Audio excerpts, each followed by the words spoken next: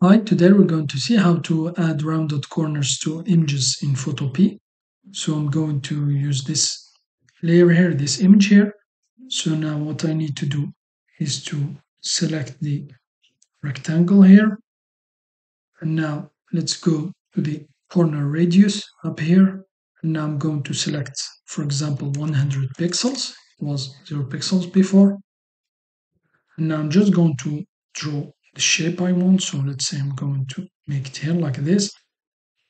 So this shape here took the color here, can also change the color, for example, here. So I'm going to leave it with the black.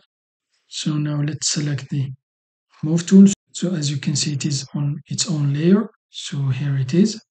So now I'm just going to center it. So here it is. And now I'm going to move the black layer here under our C layer there's one here. And now I'm just going to right click on the here, this one here with the C, and then click on clipping mask. So here it is. It took the shape of our rectangle. and still adjust it. For example, if you select the rectangle, select the move tool, select the transform controls, you can still, for example, increase. So here decrease it or increase it.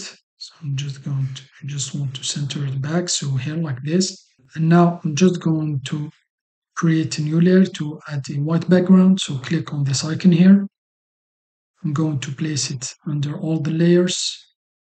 Select the paint bucket tool. Make sure the foreground is white or any color you want and then just left click. So here it is.